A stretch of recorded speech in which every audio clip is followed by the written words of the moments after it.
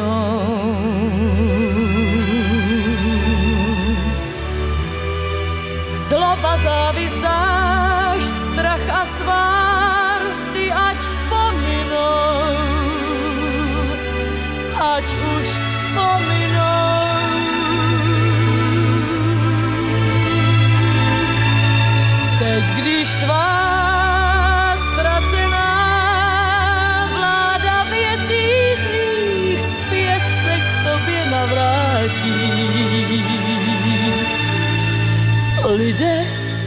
Navrátí. Marta Kubišová se narodila 1. listopadu roku 1942 v Českých Budějovicích. Její tatínek byl kardiolog a maminka ženou v domácnosti. Rodina se později přestěhovala do Poděbrat, kde Marta odmaturovala a její tatínek prožil tři měsíce ve vyšetřovací vazbě. Byl totiž obviněn ze sabotáže rentgenu, který musel odevzdat tehdejšímu komunistickému režimu ze své bývalé ambulantní praxe.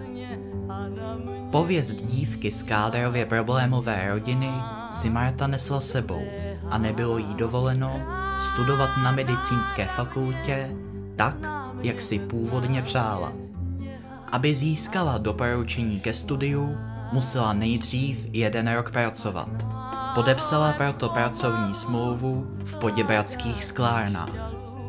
Ani po třech letech práce doporučení ke studiu nezískala. Mezitím ale začala uplatňovat svůj pěvecký talent. Veřejně vystupovala s poděbradským lázeňským orchestrem a později také zpívala v nedalekém Nymburce při odpoledních čajích. V roce 1961 se dostala do finále pěvecké soutěže Hledáme nové talenty a o rok později vyhrála konkurs do Pardubického divadla Stop, kde jednu sezónu vystupovala. Poté přešla do plzeňského divadla Alfa. Promiňte, neruším vás. Ne, vůbec ne. My si totiž povídáme o Plzni, víš? O Plzni, ano, správně. Marta zpívá, myslím, v divadle v Alfě, že? Ano, Jak dlouho, Marta? jednu sezónu. A jak jste se tam dostala, Marto? Z Pardubického stop divadla. To znamená, že jste rodačka z Pardubic, ale? Nikoliv, já jsem z Poděbrat. A jaké máte plány? Tak na příští sezonu jsem podepsala smlouvu s Pražským divadlem Rokoko. A jaké máte další plány?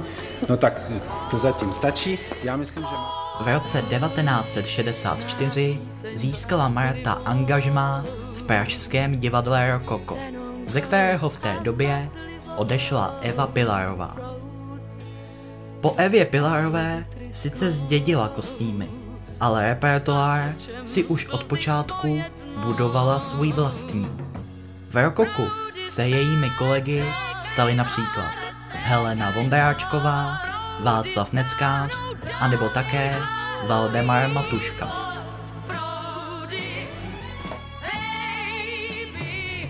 Martě začaly vycházet desky s jejími singly. Dostala se do televize i rádia a publiku se ukázala v tom nejlepším světle. V anketě Zlatý slavík za rok 1964 skončila na desáté příčce. O rok později byla čtvrtá a za rok 1966 si Marta Kubišová odnesla svého prvního zlatého slavíka. Tam je pozvání do Francie od Československého svazu mládeže a ještě tady pozvání na pátý sjezd svazu. Československému svazu mládeže velice děkuji za toto pozvání. Přijdeš? Jistě přijdu, dostavím se tam velice ráda, ale nebudu tam mluvit, ale raději tam zaspívám. No a ve Francii nemusíš ani zpívat, tam můžete jet sami.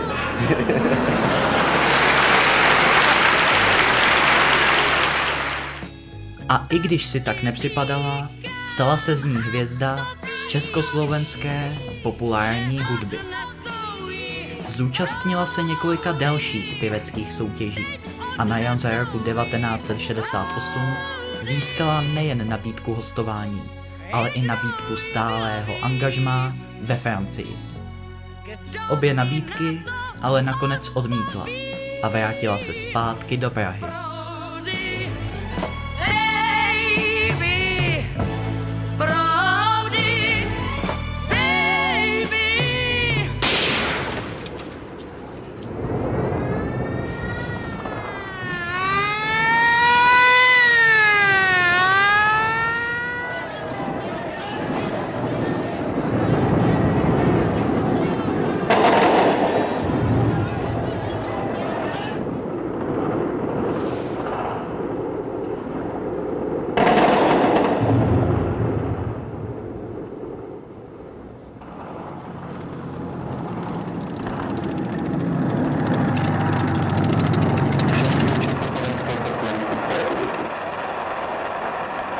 Že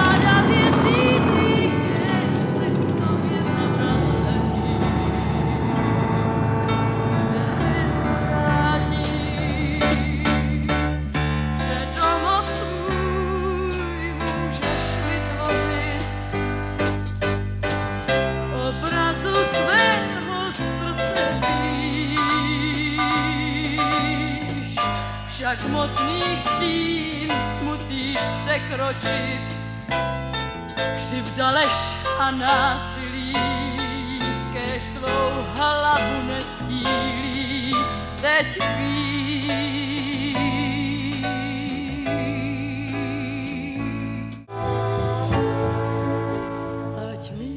Během okupace vojsk Varšavské smlouvy se píseň Marty Kubišové Modlitba pro Martu stala symbolem a protest songem okupovaného československého národa.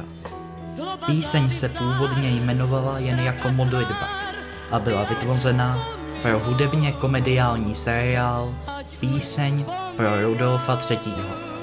Hudbu složil Jindřich Brabec a text na motivy díla Jana Ámose Komenského napsal Petr Rada.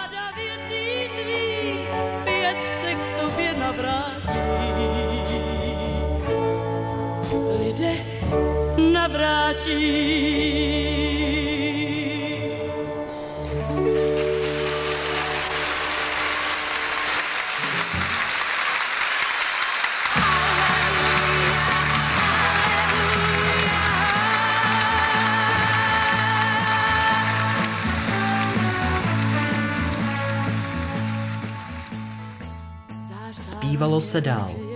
1. listopadu roku 1968 vzniklo pěvecké trio Golden Kids.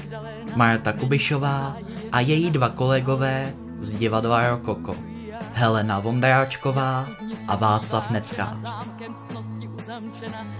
Já mám takový dojem, že ovšem pro vás, jako pro skupinu, byl asi největším zážitkem eh, pobyt v Paříži, když trval krátkou dobu, ale vystupovali jste v Olympii. Ano, to je už dneska nějaký pojem Olympie.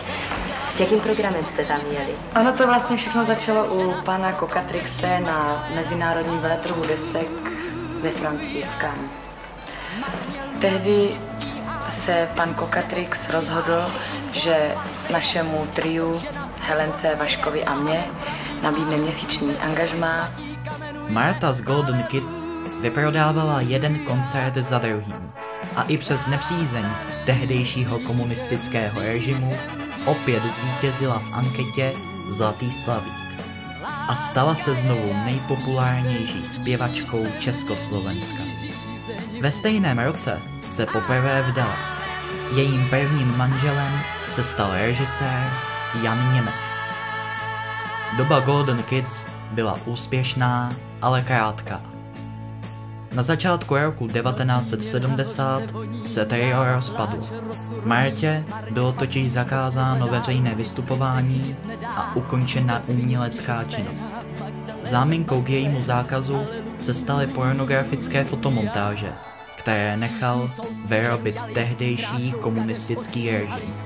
V jeho očích byla zřejmě až moc spjatá se srpnovou okupací a pražským jarem.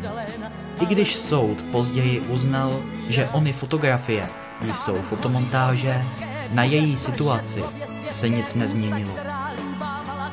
Marta se pomalu začala směřovat s tím, že si delší dobu asi nezaspívá.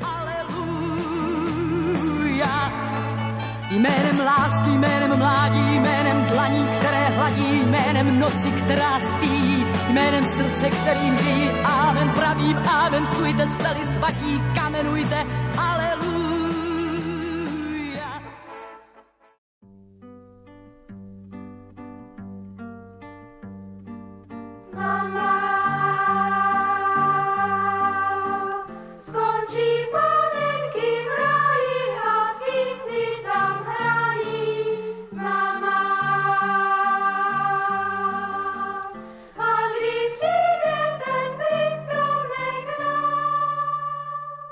V osmém měsíci těhotenství porodila Marta Kubišová mrtvou holčičku a prožila dvě klinické smrti. Především kvůli psychickému a fyzickému vyčerpání, které jí přinesl předešlý rok. Krátce na to její manžel Jan Němec emigroval do Spojených států amerických a později se s ní rozvedl. Marta zůstala v Československu, především kvůli své mamince, kterou zde nemohla nechat samotnou. S Martiným otcem se totiž už v roce 1964 rozvedla a Martin bratr krátce po okupaci vojsk Varšavské smlouvy emigroval do Kanady. Po zákazu veřejného vystupování žila Marta na chalupě na Slapech. Našla si práci v družstvu Směr, kde lepila igelitové sáčky na hračky pro děti. Jinou práci jí totiž komunistický režim neumožňoval. Teď jsem schořelá, to se nedělá. Někam cestu měl,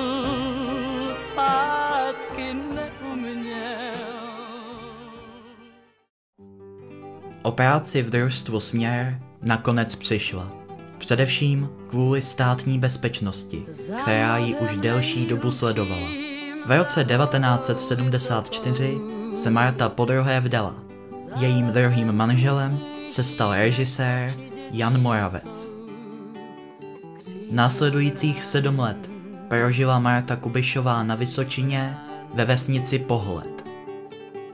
V Pohledu ji často navštěvovali Václav Havel se svou ženou Olgou. Na konci roku 1976 podepsala prohlášení Charty 77 a na jeden rok se stala její mluvčí. O to víc pak byla pronásledována a kontrolována státní bezpečností. Od činnosti Charity 77 nakonec odstoupila sama v roce 1979. Po pěti letech manželství s Janem Moravcem se jí totiž narodila dcera Kateřina, její největší životní radost. Poslouchej.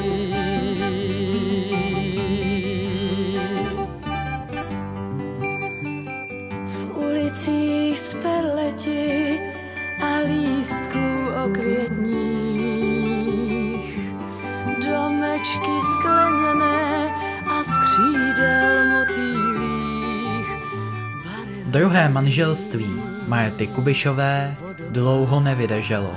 Manžel jí podvedl a ona se s ním v roce 1981 rozvedla. S Kateřinou se Marta přestěhovala zpátky do Prahy, kde až do konce 80. let pracovala jako referentka zásobování ve výstavbě sídlišť. Ve zvoncích zrození. Se stane neštěstí, svým zvonkem zazvoní. Ringo,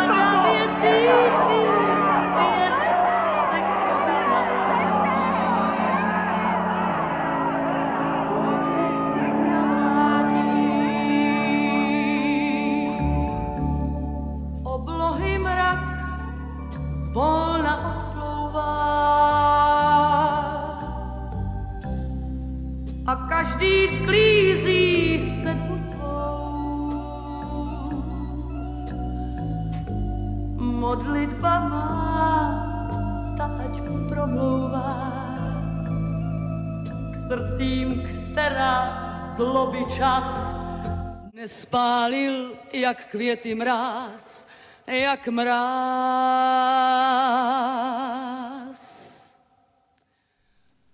Dne 21. listopadu roku 1989 z balkónu Melantéchu na Václavském náměstí zazněla z úst Marty Kubišové modlitba pro Martu. Zazněla po 21 letech a zazněla tak, že ve zpěvačtině hlase byly slyšet slzy. Nejen ona píseň, ale i Marta sama se stala symbolem sametové revoluce.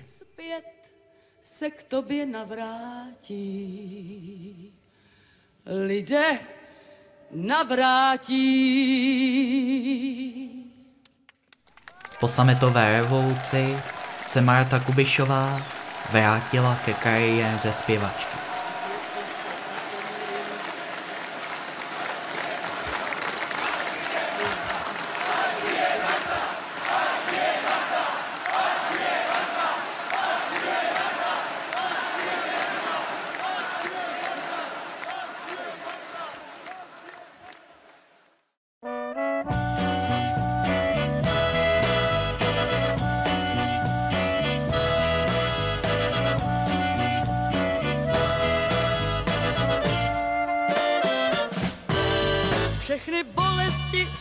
Utiší láska, nikdy samotný neusínej.